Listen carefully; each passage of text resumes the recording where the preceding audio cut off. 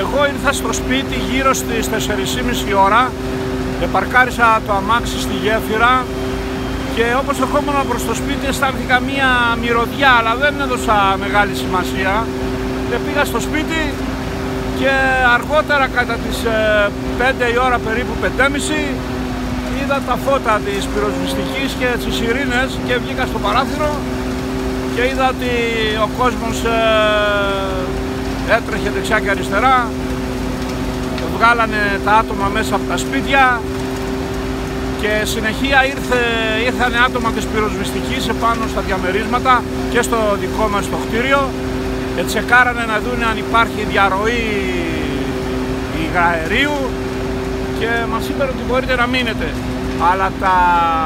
εκεί που μένω εγώ στο σπίτι τα υπόλοιπα όμως έχουν κενωθεί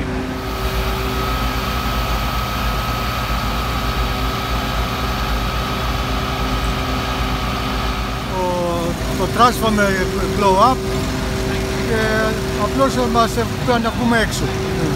Υπάρχει διαρροή σας είπα. Δεν υπάρχει, μόνο το χάρπο μόνο να ξανανεύει και λίγο, τίποτα άλλο. Είμαστε εντάξει.